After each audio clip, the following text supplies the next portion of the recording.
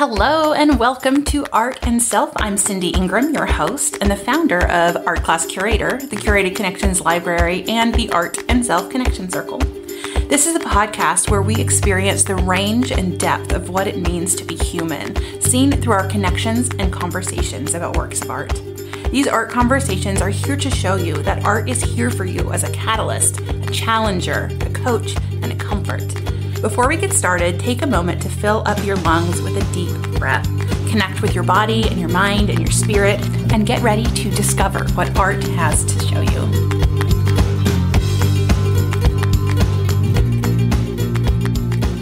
Hello, I am so excited to welcome my friend Nikole Pearson to the podcast. Welcome, Nikole. Thank you. I'm so happy to be here. Me too. I'm very excited. So, before we get started with the art, can you tell our listeners about yourself? Yeah, I probably should have thought this through. Um, an introduction, I have to introduce myself. Um, yes, my name is Nikole Pearson. So I, like you, uh, one of the reasons I was so drawn to being a guest on your podcast is similar to you. I've gone through a pivot recently, career wise. So I spent 22 years as an environmental planner, working on environmental projects for government agencies. And in the pandemic, kind of threw a little bit of a wrench for us. We while government contracting in general increased, a lot of agencies that had to do field work first couldn't get into the field. They were all working from home. So our business kind of took a hit. And I thought, you know, what am I going to do? And, you know, I had some personal things we might talk about today that really shook me up. And so I've recently pivoted from doing environmental projects to talking about the environment. So I now write about climate change topics at my website as a blogger. I'm a blogger. Like I have to practice saying that blogger, and it's a real job. yeah, it is a real job. I ha- that I started out as a blogger, and oh. I had a hard time calling myself a blogger for a while too. Yeah. And my daughter and I were in a store, and this girl had asked us, "Oh, because it was a work day." She said, "Oh, well, what do you do that you can take the day off?" And I went back to, "Oh, I'm an environmental planner. I do government contracting." And my daughter, we left, and she's like, "This is LA, mom. This is the only place where you could say I'm a blogger." And that girl's going to say, cool. I can't believe you. That's so funny. Yeah, I was talking to someone the other day, and I was like, "Oh gosh," I was like, "Now I, have added coach to my uh, to my resume, and then the art history major." I was like, "I'm just getting all the cliche uh, right. jobs in one: blogger, coach, and art history major." I'm like, "It's fine. I'm making it work. It's fine." So funny. Yeah, so awesome. So you you blog at nikolepearson.com? Yeah, nikolepearson.com. Yeah, we'll yep. put a link to that in our show notes. Okay, so I'm going to show you the art. I'm going to show you four oh, yeah. options and then pick whatever one really calls to you.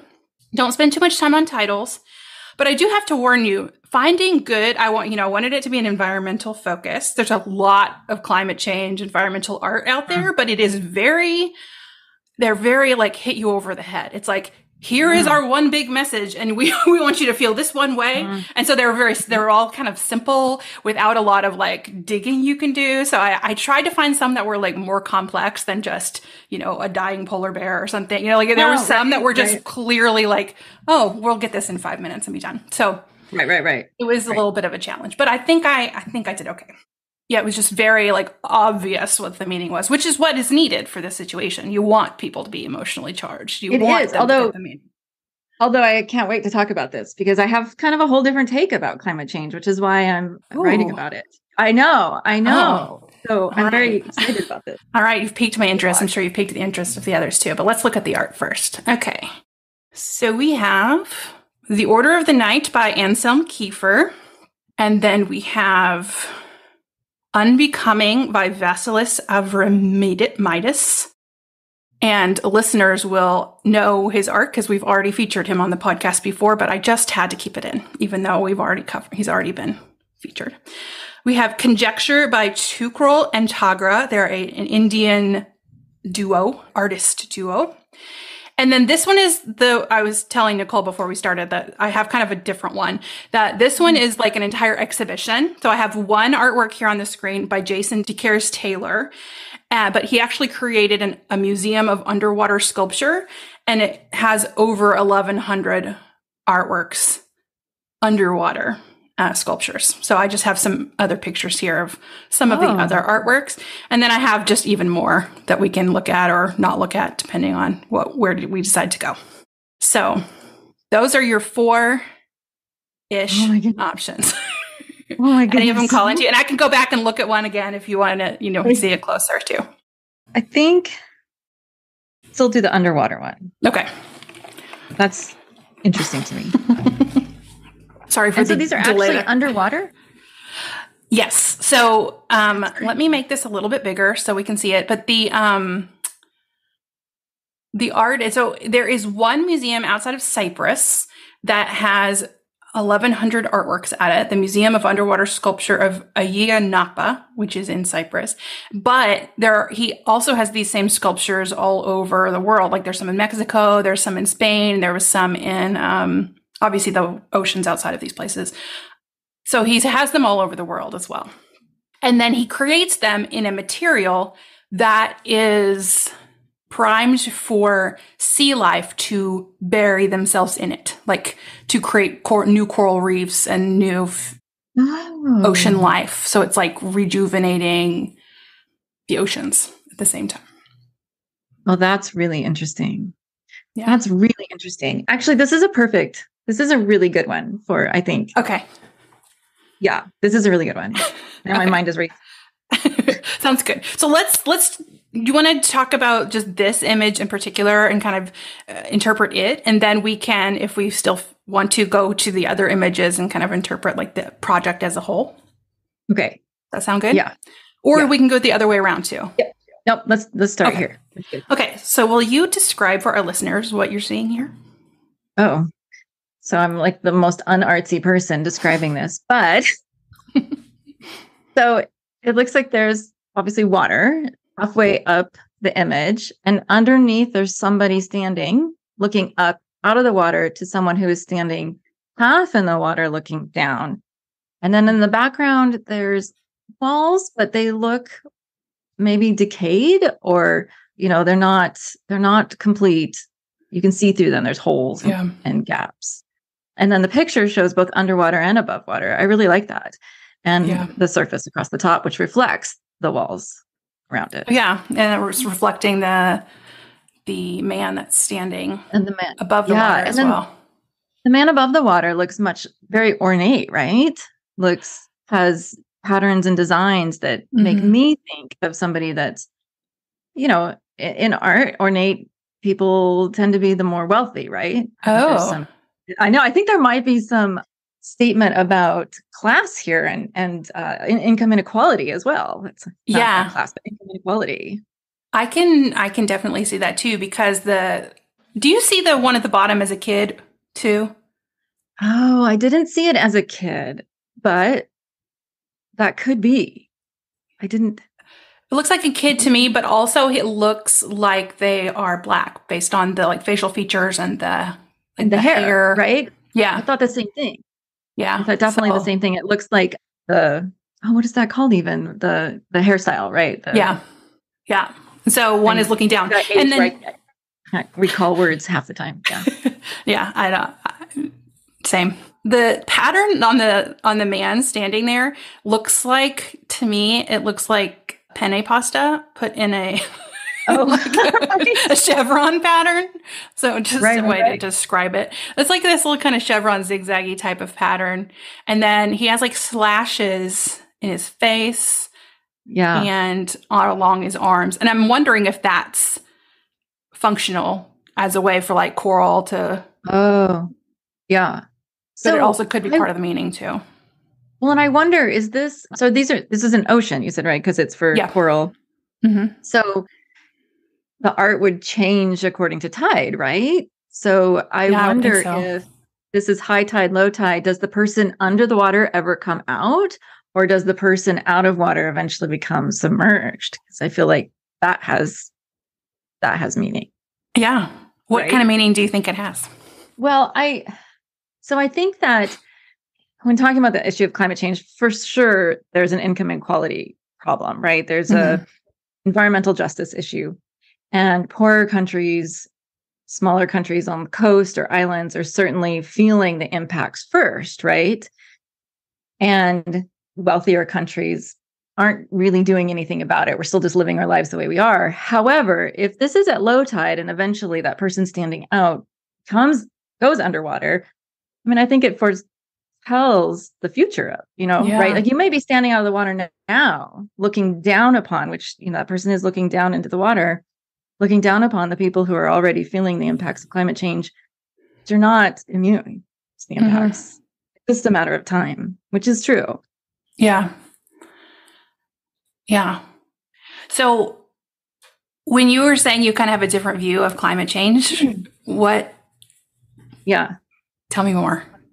So um, when I had some free time and I started looking into environmental issues, so I've spent 20 some years reading about projects. We read about the environmental impacts of a project that the government is doing. So that specific little project, right? That small mm-hmm. piece of the world. And what impact will that have on the environment as a whole? But after 20 years of doing this, it, I realized, you know, that background that we're measuring this against, it is changing. It is changing so quickly. And so just looking at the impacts of this one project, like I felt really helpless. Like, yeah, I'm not making a big difference. Yeah, maybe this project isn't doing something damaging, but it's all changing anyway, right? No matter what. so uh, so i started looking at climate change and it's it's really sad like if you want to feel depressed and you know you want to like eat a bowl pint of ice cream at a time and think mm-hmm. about just giving up and why did i have children like go out and read about climate change do it but in reading i felt like people were missing a really important message and that is all the places and countries and people and organizations and businesses that are making big changes uh, in the way that they do business or how they govern and are trying to tackle climate change. Like, so there's a book called Project Drawdown, and they look through different things that we could do that and the difference that they'll make. So, composting, for example, I had yeah. no idea. If we all composted, we could reduce, I don't even know, gigatons, hundreds of thousands, millions of gigatons of carbon from going into the environment we can make little changes. And then what they saw was that these changes were also better for the economy, for the people, and for society. So by having to tackle climate change, we're also going to be improving the world as a whole. Does that make sense? Yeah. Yeah. So there's like that would almost felt slightly uh, hopeful for I'm actually really hopeful. There's a there's yeah. a quote that I wish was mine. I could take credit for it, but it's Chick Drawdown. And he says, climate change isn't happening to us, it's happening for us. Oh. Right? Climate change is making us, it's forcing us to change business as usual. Yeah. But in doing so, if we do it, we will end up on the other side of this in a world that's infinitesimally better than the one we have now, or the one that we will have if we just continue the way business as usual. And so there's been a lot of countries that are, are making big changes and, and like I said, in companies, and I just see so many people, individuals and large organizations that are saying, uh, you know, we have to change business as usual. And that and just the changes that they're making are rippling across um, like you said, across economies and across, uh, you know, if you, you know, we all need clean air, right? So if we mm-hmm. start talking about going to EVs, electric vehicles, and we stop and we get rid of um, carbon, you know, gas powered vehicles or any sort of zero emission, right? It doesn't have to be just EVs. It could be hydrogen or something. Um, we also clean the air. We also have mm. better air quality, right? Yeah.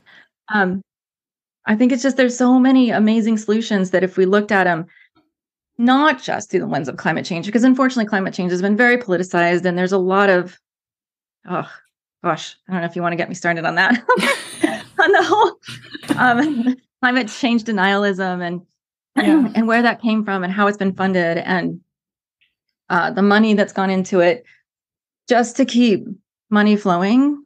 It's insane. Um, you know, you look at the man standing out of the water, ornate and wealthy yeah, you can keep making profits off of gas powered yeah. vehicles, but eventually you too are going to suffer. Eventually, you will be underwater or you will have poor air quality in your city. Um, if it's not you, it's your children or your grandchildren, you know? Yeah. Um, and I, I just think that if we could even step back and say, okay, I'm a climate denier, I don't think it's getting fine. Okay, I'll meet you there. Well, let's talk about putting solar power on your home so that we can decentralize the electrical grid. So yeah. we are no longer beholden to power companies, utility companies. I mean, you're in Texas. Yeah. We went through some stuff. Oh, yeah, we did. years ago. yeah, right? Did. If we had been working towards solar power and had been collectively saying, "Hey, this is the choice. This is the right way to go, not just for the environment, but because we can decentralize the power grid. The consumer becomes the generator and can sell not power only back to utility companies, but to their neighbors or to collective, you know, to uh, mm-hmm. to groups, um, or to your home. All of a sudden, you with solar powers on your solar panels on your home, you can power your home, you can power your car, every oil company out there now has no power. Sorry, power has two meanings in this sentence. I was following you. Yeah. Yeah. When I talk about decentralizing power, I mean literally and figuratively. Yeah. Right. We can put power out in rural areas now or places in Africa where you don't have to run transmission lines from an electrical generator in a city all the way out. They generate their own power. We don't need to all be connected to this grid, right? Mm-hmm. I just think when I think about decentralizing electricity and the major companies that, which is why they've fought it for so long, right? Yeah. Because they're smart the enough to have seen this yeah. 20 years ago, right? Yeah. And and putting that power, I mean, as a country, you know, as a democratic country where we think our only power lies in being able to vote for elected officials. No, we could be in a world where our power literally is under our control right? How yeah. we run our cars, how we power our homes, how we charge our electric devices, everything could be something that we control. Like it's amazing. I mean, I, I tell people yeah. about decentralizing power. I'm like, if you don't, if your mind isn't just like blown, then you're just not getting it. And I'm going to have to keep talking. yeah. Well, and I think that's why so much of the art is, I said, I found a lot of art that was about the data you know, different visualizations of the data. There was one that was like knitted and that was like showing temperature change and there was one that was showing the grid and like the uh, upwards was like fire and then like the downwards was the ice and you know and then so it was yeah.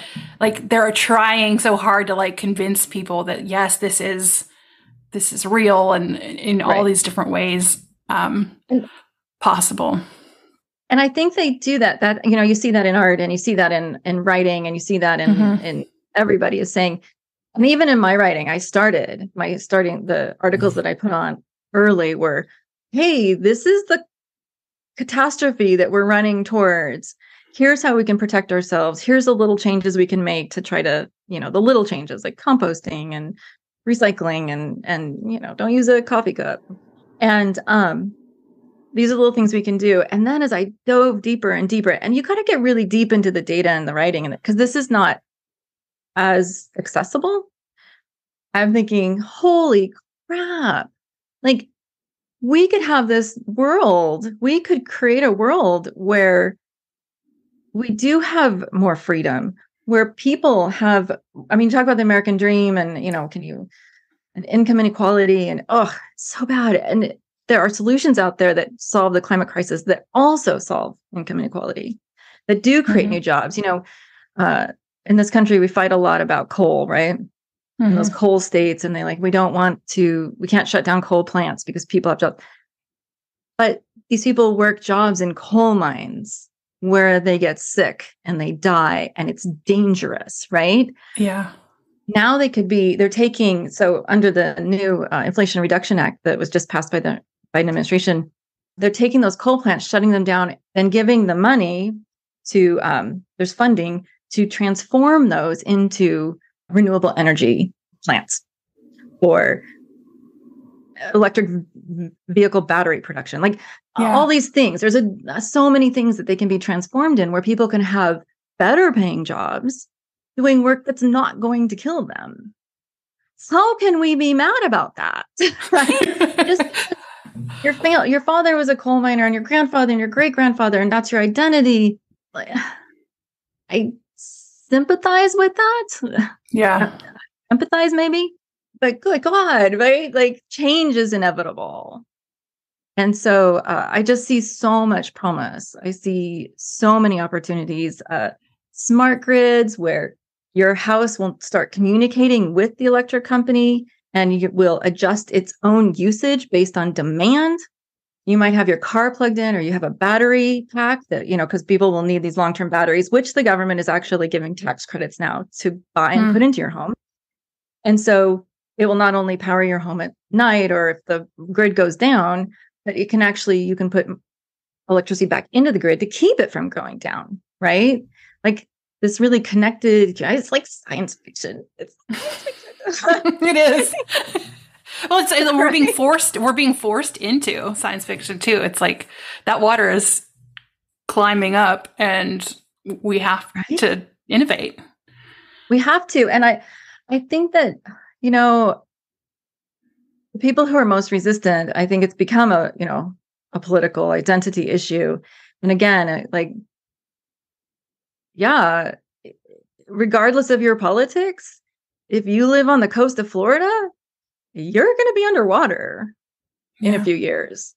Well, you could be. You could be. I mean, I again, I think that reversing our emissions and then pulling pulling carbon out of the atmosphere. Also, they're looking for, you know, commercial ways to make a profit off of pulling carbon. So you pull carbon out of the atmosphere, and then what can we do with it? And there's a lot of research right now going into what can we make or what can we, you know, mm produce, right? Not just store it back into the ground, but what can we do with it to make it economically viable? And there are predictions about this being a multi trillion dollar industry someday. And, you know, a lot of us who are, you know, going along with our lives every day who are being told it's do- either doomsday, like we're, it's over, just start eating your ice cream. Don't, don't work out anymore because, you know, there's no need to jog. I think we're all dead anyway. or um, or hey, it's a it's a it's a hoax and it doesn't exist. There are these people who are the ones standing outside of the water here who are investing and making money. In California, there are three uh, electric charging. There are three companies that control electric vehicle charging in the state. Uh, control, but who have invested in and built the infrastructure. Yeah. One of those companies was just purchased by Shell. Uh-huh. Shell Oil Company is now getting into the battery EV charging business. Why? Because that's the future. Shell's yeah. going to be just fine. Everybody who feels sorry for Shell because we're not buying fuel anymore, gasoline, and you know, like, oh, they have to make res- record profits to make up for the whatever. Shell's going to be just fine. So it's time that individually we all think about how can we capitalize on what's coming because there's going to be so many economic opportunities which yeah. is a little bit different topic but yeah no that's i i'm just sitting here just taking it all taking it all I in because i could go on and on and on I, I, know, know, I know no it's so good because i i guess in my head i always it's one of those things that just it feels hopeless and then i mm-hmm. and i just look and i'm like well you know it's not nothing's going to happen unless we all do something. Nothing's going to happen unless these big corporations do something. And so, like, what power do I have? And, and so I just get into this spiral of like complete helplessness. Like, my vote is really all I have, and I'm in Texas, and so my vote right. doesn't necessarily right either. No matter who I'm voting for, one side's going to win. Yeah, and that's and I don't know if that's happened because you know we just kind of live in a world where what is it? If it bleeds, it reads, right? That's our. Mm. So let's give them the bad news because people will consume the bad news. Who wants to read the solution, right? Who wants to read about the solution? Um, but I do, or so I don't know if it's if it's just that, or if it's by design so that people don't change. Because if I think if you feel hopeless, you're less likely to make a change because yeah, because it's hopeless, right? yeah, right. Um, and if we were really told uh, the impact, and and you know, I think too, it's change is hard, right? I, I, think people don't change until it gets really uncomfortable. I mean, we've all been there, right? Right. You know, yeah. Nobody really changes until it just gets staying the same is more painful than changing, which is yep. kind of, I think, where we are on the cusp of climate change as we're seeing hurricanes and uh, heat waves and wildfire, oh, yeah. right? Um, so I think as a society, a lot of people who maybe who were who were skeptical are starting to say, "Oh, I'm but um, or you know, or if it's a, I just I hope it's not something by design to keep people from changing their behaviors, and and I do think there is that. You know, again, when you follow the money and you look at some of the oil companies and and some of the concerted effort to uh, feed climate denialism, it's it's really it's shocking it's shocking. And then that's when I get a little bit, how am I possibly going to fight? how can my little voice be a difference to, to something that big? But, um, but I, I do think that, you know, as Americans, we're just such individualists and we're such, um, you know, uh, America has more entrepreneurs than any other country. And I read mm-hmm. somewhere that someone said they think it's because most people who came to America, we were we were immigrants, right? Yeah. No matter how far back it goes we all come from immigrants. And to leave your home country and everything that you know and your family and your friends and to venture someplace unknown, you have to have a little bit of ruggedness and an, an adventure and risk taker. You have to be a bit of a risk taker. Yeah. And that, that may have passed genetically down through generations. And so we have a we have a whole country of a little bit of risk takers. and so I, I feel if you can talk to people about not just what it does for the climate, but the benefits for them for them themselves their community their friends their families and again taking back our power from corporations which have really held that over us for my entire life. Yeah. I was born in the 70s right? The fuel crisis of you know the yeah the energy crisis of the 70s and then i mean we're still having the same conversations right? Here we yeah. are 50 years later still having the same conversations we don't have to be we don't have to be. Yeah. okay. I know, right? I'm just like, okay, where where do we where do we go from here? This is oh, it's so much. Okay, so let's mm-hmm. let's let's pull it back into the art. And yes, sorry, sorry. Oh no, you're great. I I asked you that question because I was like, I can't. I have to. I have to hear the answer to this question. Right? it would have maybe come out naturally, but I was like, I just really need the answer to this question. So we've noticed the, inequ- the income inequality the the rising and lowering of the tides, the race view here. How else are you seeing kind of the stuff that we've been talking about in this in this work of art? So I think when I look at the background, I think that that's what I love. One of the things I love and hate about art is that it's a lot of interpretation. And I'm a scientist yeah. by nature. and so I don't like interpretation. I like a, you know, black or white, like yes or no, up or down. um, but I think that my mother's an artist, I should mention. So I grew my whole life with, you know, interpretation, um, which is probably why I, because I rebelled against my mother and became a scientist. Um, my hippie mom. So you. um, but I, I think that in the background, when you look at those, like we said, the the walls in the background, they have large gaping holes and and um, and it's obviously it looks like because it's not uh, even and cut, right? It's it's a mm-hmm. what do you mm-hmm. call that? Like it's really uneven, wiggly, like organic lines. shapes. Yeah. Thank you. That's your art term for the day. Um, organic um, shapes. Thank you. Thank you. Organic shapes. Uh, it looks as though it could be decay, right? And so mm-hmm. some might say that are it could be interpreted as saying we are it's just being destroyed, right? It's just a, a yeah. sign of destruction. It's a sign of decay, of you know breaking down, of you know like because climate change is very much like that. It could be mm-hmm. also interpreted as a breaking down of the norms, right? Of hmm. breaking the walls so we can see through and see out, right? If you've been trapped inside, if those were full walls, those um, figures, at least the one under the water would be inside of it the person that's standing above looks like almost like in a doorway or something, a, yeah. an opening. But, you know, I think it could be interpreted as we can see through them now. We can see out. And guess what? There's a whole world out there of possibilities. Mm. I love that. And we're look. looking we're looking out into the sky that from our angle. I mean, I guess from any angle, right. most you're going to be seeing through the sky. This one, yeah, you'd be seeing, right? Um, and so it's vast, right? There's no structures blocking the view of the sky. There's nothing, no buildings, or you know, it is just open sky, right? Yeah, it seems like it, it's opening to possibilities, not necessarily a sign of destruction and falling apart.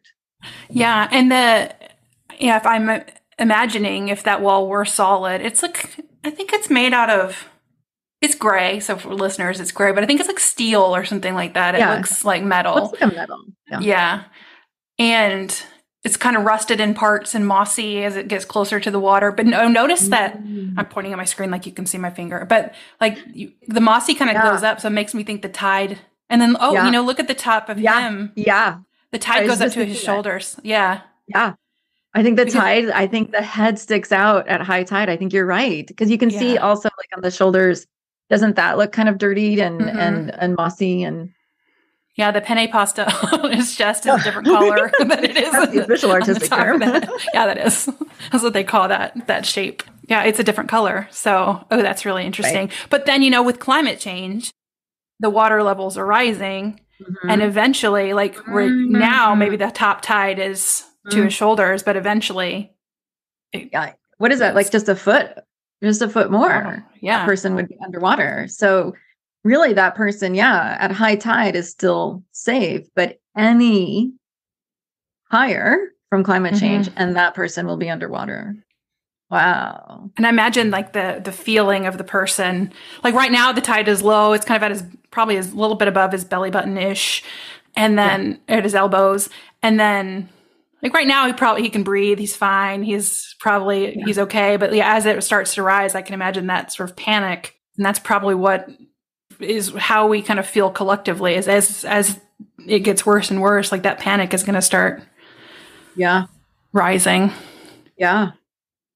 One would assume. One would hope. One would hope. I, I would. I guess. And I and I do think you know we're seeing that when. Yeah. Whether it's, I think, unfortunately, rising uh, sea levels is a very slow process. Yeah. Um, but, or I guess fortunately, um, but things like fire and you know, for sure, people are starting to feel that panic already. Yeah, just this past summer, how hot it was. Oh, um, the heat it was so shocking. Right? Yeah. Mm. It's like we all we all realized it, I think, for the first time, like, oh, this is different. This is yeah. Well, and then this the winters we've had in Texas have been so weird too. So it's yeah. so strange. So what do you make of the man's feet? Like he looks like it his legs sort of billow out to like a fabric or a and he's standing on a structure, right? So yeah. and I, and I imagine that's just needed in order to have the difference in height. Yeah. Although I do wonder um, if you could see it without any water, right? Like yeah. his hands, what are his hands? What are they doing? And then what is he standing on? And what does that mean? Is it just the temporary, you know, advantage that some people have? Mm-hmm. Talk again about the inequality. Is it uh, if you stand on something, although it's not very big, there's not room for a lot of people on that little yeah, that's true. Where I mean, it could just be showing his um could be like this his status or also his actual physical elevation, you know. He's not yeah. in one of those islands that's getting impacted. He's physically higher up, higher than sea level. But I can't yeah, yeah I can't I, figure out what's going on with this I, this fabric. Oh, I can't either.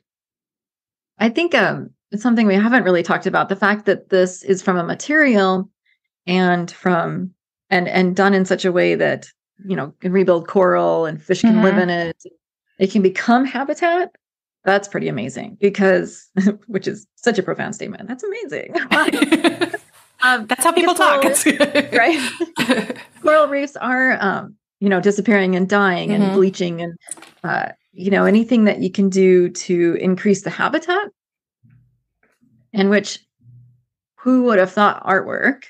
Yeah. I think that's what, you know, the artwork could serve as habitat for wildlife. I, I think that's something that we forget as non-artists. I think artwork, I think paintings on my wall, mm-hmm. you know? and then occasionally I think I told you before my mom is an art teacher and so every city we ever went to growing up I was drugged through, you know, every museum art museum kicking and screaming usually. Um yeah. But you know, I forget that sometimes that art piece is walking through a mirrored tunnel, right? Where it's mirrors and you look at things and or a room full of the balls that reflect or you know, we've done and so to see sculpture, yes, get that. But sculpture that serves as habitat. Yeah, it's like living becomes right? a living and thing. It becomes a solution, right? So even yeah. the artwork talking about the danger and the and potential i don't want to say inevitable because i just think it's the potential future we have a choice. But looking at the potential future even that piece of art says guess what? I'm going to show you the solutions. I'm going to be a solution by increasing yeah. habitat for corals which then you know have not only just for fish and stuff but they help with flooding and they do help actually a healthy coral will keep you will reduce sea level rise. There's you know. Oh yeah. Yeah healthy coral i'm a little vague on that kind i'm not an oceanographer yeah. ocean person but uh, i know when they talk about like tsunamis and they talk about waves and stuff and the, those areas with healthy corals are um, actually had less damage inland. I've read that somewhere but oh. so now he's become a solution to climate change plus absorbing carbon and all the other things that they do. Yeah. It's interesting i, I kind of have two divergent thoughts at the moment, but one is thinking about how this sculpture is becoming a living thing. And if you look at, he has a, I invite everybody to go to this guy's website. We'll link it in the show notes. But there are so many pictures of ones that have been completely covered in coral and, oh. and they're not even oh. recognizable anymore. And so that really makes me think of and then you mentioned the, the, the organic shapes in the wall, kind of reminding you of the decay as well. And it makes me think of you know, in the end, no matter what happens, like the Earth is going to it, it's going to figure it out itself out. You know, once we're all gone and we're not making those those yeah. damaging things to the environment, the earth is going to replenish. It's going to reju- rejuvenate. It, it's done it before and it's going to do it again. And it might do it, you know, many more times before it, you know, the sun explodes and then it's all gone. Yeah. But, you know, it's like nature will find a way to just still exist and live and that's overtake that's the humans. Really, that's a really interesting point. That's really interesting. I hadn't even thought of that about in the end, not only does it exist, or not only does it, sorry, does it continue, but it eventually overcomes the damage that we've done, right? It, yeah. It eventually will, like you said, it's unrecognizable. So the human figure one day here will be unrecognizable, covered by um, nature. Oh, I just and, had the thought that we, you know, how like fossils and whatnot become fuel. Like what if our bodies are going to be the fuel for like future future races on the planet like that end up like digging the oil and we do this again. They surely they won't do it again. Maybe. Right? Like, but i don't know. Sorry that freaked me out for a minute. Right? Right? No this is like around. It's a cycle. I mean they say you know history repeats itself man like yeah. Oh. yeah because it's the organic material, yeah, that's become the oil and coal and yeah. Yeah. Hmm. Weird. Um it just I can't get that picture out of my head for some reason. I'm just I have this picture in my head of like everything being like humanless and then us being I don't know. I I need to stop. Okay. The second divergent thought this is when Cindy gets lost in her imagination and can't pull it back in. Happens too many times in a day. The second thing I was thinking of was so these these sculptures are becoming a solution. They are replenishing coral, they're helping the environment. But then I saw one thing that said the Museum of Underwater Sculpture has a goal of serving 50,000 visitors in a year or, or like it was something like the year or whatever they want to bring people in and to like mm-hmm. visit the mm. museum. And so then I'm like, are all these people going to be then scuba diving and then disrupting the new coral environments? And is that going to, do you know anything about that no, impact? I don't know how that, because I guess I hadn't thought about how would you view it? You yeah. would have to get in the water, right? It has to mm-hmm. be an mm-hmm. immersive viewing. Then I also wonder all those people traveling, right? Yeah. a lot of airline tickets. We have a lot of cars running. We have a lot of, you know, what is the impact, the environmental impact of wanting your art to be seen that's a commentary on environmental impact? Yeah. And it's outside it's it's in it's on an island that, you know, it's not probably not easy to get to to Cyprus. Uh, I think ah. Cyprus is an island, isn't isn't it? It's like in the Mediterranean. No, no. I prepared for art, not for geography. this is one of those things I should have looked. I'm pretty sure because I studied like Cyprus ancient art at one point in my life, and I'm pretty sure. Yeah, it's an island. Okay. Oh, yep, it's an island. Okay, we looked it up on Google Maps. You can just say because we can start again. Ready? Cyprus is an island. yeah, I mean it's that's not an easy part of the world to get to from over here. You know, right. in the middle of right. the Middle East, basically the ocean, that whatever yeah. bay this is, Mediterranean Sea, I guess. So, is it? Are we counteracting uh, all of the good good deeds? You know, that is a that is such a topic, and and I think that that's something climate deniers, um, climate change deniers like to throw back. Like, oh, right now, uh, as of the recording, they're having the um, was it the COP twenty seven the the climate summit? What is COP? Hmm. The climate change conference. COP clearly this must not be in English originally, but um, oh, Conference of the Parties to the United Nations Framework Convention on Climate. Anyway, that's happening right now in Egypt. And so, of course, people from around the world are flying into Egypt to have this conference on climate change, right? And there's a lot of criticism saying, you know, people around the world, like leaders, world leaders, and and journalists, and report, you know, and all the carbon emissions that you need that you create to get there to talk about what are we doing about oh, emissions. Yeah. And I I don't you know, part of me says, well, this is what you have to do now until it gets better, right? This is these yeah. are our only options. So I think is it worth flying to Cyprus, flying to somewhere near Cyprus, taking a boat to Cyprus, getting in the water, and disturbing? Is that what we have to do? It's our only options now. So is it what we have to do to try to implement a bigger change, right? Because yeah, of course, coming out of these conferences, the COP27 will be, you know, big changes that governments make, that people in power yeah. will make based on promises they make at these or or pressure, pressure from worldwide pressure. Um, and uh, that has to be greater than not meeting at all. So is it worth it I guess that's the question. I don't know the answer, right? Like I yeah. could effectively argue both sides, I believe. yeah, I feel that way too. I mean, and, and it's not just this, it's every decision we make right now in just our everyday life.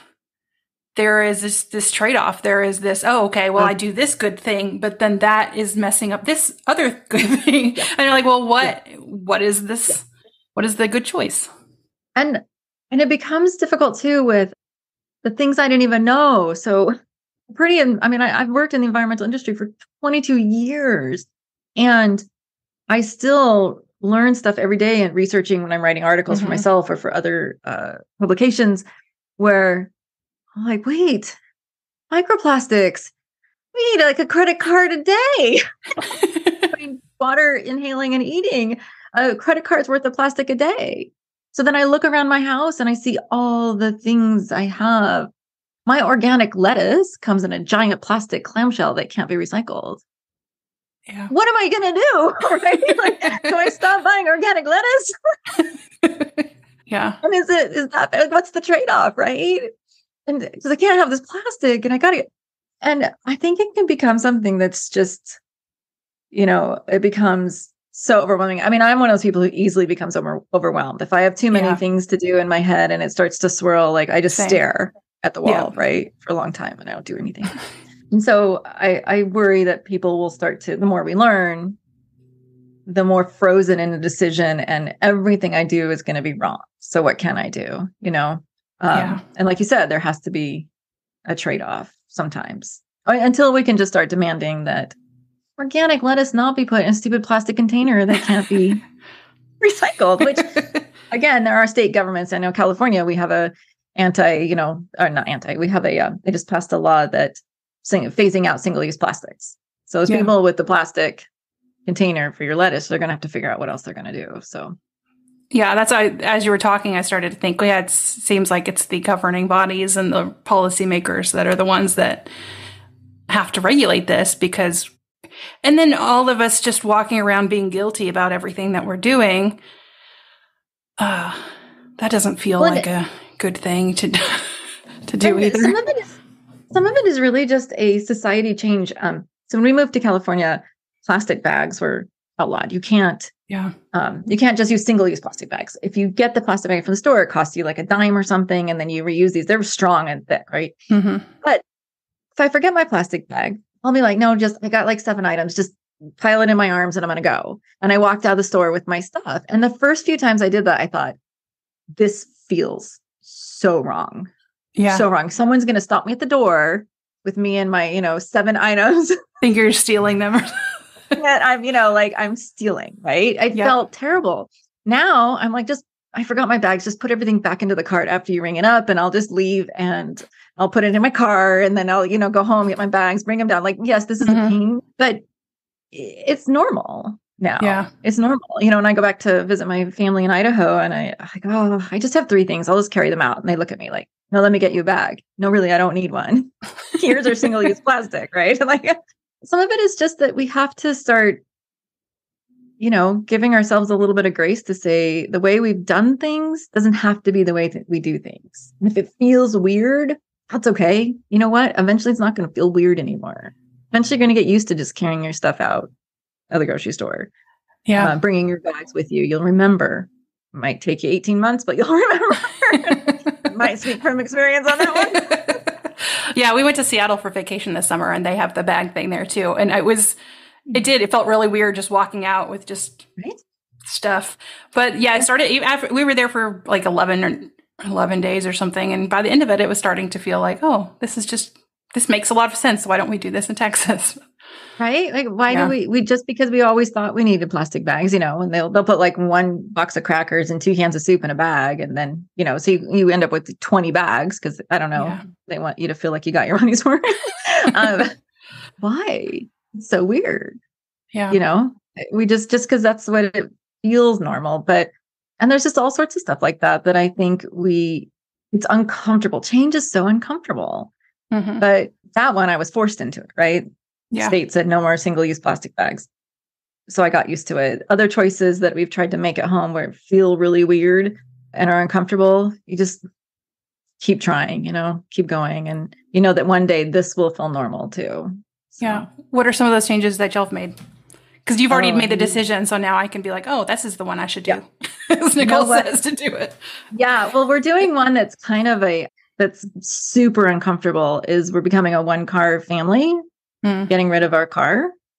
And it's this uh, Hyundai Santa Fe that's got like the third row and the big moon roof, you know, and mm-hmm. I mean, it's mm-hmm. like 12 miles a gallon, um, four wheel drive, you know, uh, leather seats. um, and we're keeping um, our, it was our daughter's actually her used Prius that we got her to go to college, but she moved in with her boyfriend. They can only have one car. Now we have this extra car. Anyway, my car is such a status symbol. I am so uncomfortable yeah. that we're going down to one vehicle when we have three of us, right? So my son's uh, going to graduate high school this year and he'll be going to community college next year, or I think. Anyway, he'll be going to college next year. So either he'll leave and he won't need a car or he'll stay living at home and he'll need one. And just that like anxiety that one of us might have the car and someone else might need to go somewhere. what am I going to do? And then also, the other flip side of it is like, I'm going to have to go out into public all the time in a used Prius. and I mean, isn't that crazy? Yeah. It's not even a fancy car. I don't even know a Porsche. By the way, I'm in LA. My Hyundai Santa Fe is at the bottom of the range. our, you know, our garage down there is like Porsches and Beamers, and I'm just like, oh, what is this? But I know, but it works. this dog, and he used to be in the third row. Anyway, so I think you know something like giving up the two car family. Yeah, we work from home. Um, when we do work out, we walk. We walk to the co-working space. We hardly drive ever. Uh, there's public transportation to a lot of places if I want to, and we have have tried using it. That's the other thing we've done is we've really tried to use the bus. And I got to tell you, the bus in LA is an experience. I love LA. Don't get me wrong, but there are sometimes when I'm on the bus where I'm like, I'm gonna die. I might be killed.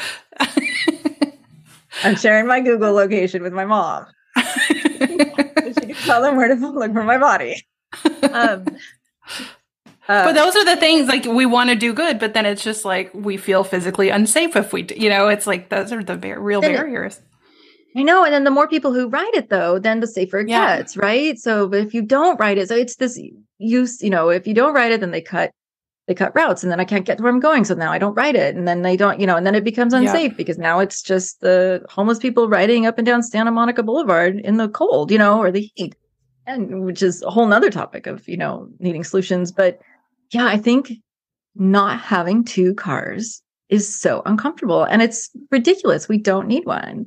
Yeah. Um, but it terrifies me. In fact, we've been planning on doing this for like four months. We've got it cleaned. We're gonna, you know, like detailed. I've done the thing. In fact, I, I commit. I will do it after. I will do it before. Okay. Well, it has to be renewed in again in December, early December. So that's our deadline because it's you ridiculous. It. Yeah.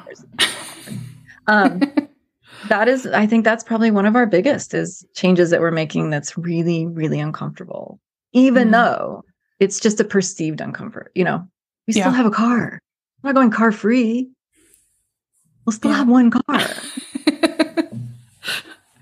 yeah, I'm like, oh, we have two cars. We both work from home. And I'm sitting here drinking a Starbucks and I'm just like with a straw in it.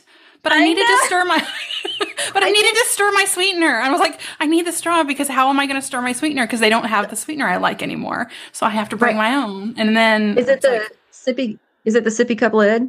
Yeah. Oh, and I hate mind. that. It is a I was sippy say, cup the lid. sippy cup lid actually uses more plastic than the old lid plus a straw. Really? It's a, so I have a sippy cup lid and a straw. Yeah, well, you're just going to hell, but and I'm putting sweet and low, which is a sin in a lot of people's eyes. Well, that's yeah, that's a climate change. No, I'm um, sure that's no, impacting climate change too. Then the whole, oh. you know, like sippy cup lid, and then you find out it's more plastic. Like, oh, I've been greenwashed again. But yeah. Oh, that's I did not know that. That is fascinating. I know. I know. There's so many things like that. that yeah. Um, are so deceiving and yeah again, we've we've been living inside like the artwork. The walls are solid, mm-hmm. and I think we're starting to they're starting to decay open or whatever the maybe not decay maybe yeah uh, starting to open I, I i would like to take a sledgehammer to it actually i think if people had the information we could make better choices and feel empowered doing it that's the other thing is i think the car, I need to flip it, right? It's all your interpretation, right? I need to flip right. it and say, I'm not a victim of having to go to one car to try to save the world. Makes you sound like a it was your choice. hero. um, but it's my choice. I don't It's your choice. It. Yeah. It's an albatross, right? Like I pay more on it. I have insurance. I have, you know, because I have two teenagers that I'm, you know, 17 year old and a 22 year old. Wait till kids start driving your insurance. Um, yeah. It's this is an albatross. Why am I doing this? I could be free of it. And I think there's a lot of choices like that where we we looked at it where I'm just doing this as part of a consumer, you know, consumerism and mm-hmm. I could let go of this and feel so good. Yeah, I was listening. This is related but un- unrelated at the same time. I'm listening to Big Magic. It's the third time I've listened to it, but by Elizabeth Gilbert. And um, she said a line that kind of stopped me on tracks yesterday, probably because I was thinking about the environment so much. But she was talking about someone who was like becoming an ice skater in their 40s just because they did it when they were a kid and they loved it and the freedom it gave them. But she was like, the exact quote was something like, she felt like she was doing something for once in her life that wasn't just in order to be a consumer. Mm. And and then I was just sitting there as I, am listening to it as I'm consuming. I was driving from Target to Dollar Tree, you know, to, to consume things. But yeah, and then I look around and like, oh yeah, my whole life right now. Which is somewhat of a trap, right? Which is, you know, mm-hmm. a whole mm-hmm. other thing is the American economy is completely built on consumerism, you know, on on yeah. it only functions if we buy more this year than we did last year. Um, it's the only way the economy grows. And you know uh, that is one thing i think it's again when we look at it through the environmental lens we say well wait a minute what if i stopped buying stuff maybe did more experiences i went to the theater instead? Yeah. I mean these things could really bring us joy you know? I think we could i think there's so many choices we can make that if we even if we make them because of climate change we end up benefiting in so many other ways. Yeah. So many other ways. Yeah. Creating and and engaging in creating things like this artwork that we're looking at that right. it's like yeah. all of it wrapped up into one. Okay. Well what else? Okay. Is there anything that you're feeling left unsaid in this in this artwork? Is there any part of it that that you've been kind of looking at that we haven't discussed or? Think so. I think that i'm really glad that you brought up the point that in over time it gets overtaken by nature. Mm-hmm. That is the end, right? The yeah. end result. And whether we're looking at, like you said, we might F this up, but guess what? The world will go on. Yeah. Um, and that's the end result. Or the end result being that we, you know, make changes that improve nature, that improve our relationship with nature. You know, it's the, it's still the end game. Like one of the two has to happen. Yeah. Right nature will either come back and take over after we're gone, or we will develop a relationship with respect to nature, to you know, to our environment and respect and a and a willingness to have a to cohabitate with it in a way that we don't end up demise. um, but I think that's the end, right? The end game mm-hmm. is the same. Yeah. Uh, which is the artwork, right? Yeah. Like it kind of tells a story. It tells this whole story from beginning to end. Yeah. Um, and while you're viewing it as it changes and the and the water level changes and it's very dynamic. So I guess that's awesome. The yeah, the whole experience is is kind of amazing. I'm glad we picked this one. This I know, great. me too. I'm like, you just summed this up so beautifully. Like we didn't talk as in depth about the artwork maybe as I have in some of the other episodes, but I'm not mad about that because it all ties in and it's all related. And I think that um, it's and I can it? see everything that we talked about reflected back when I look at it.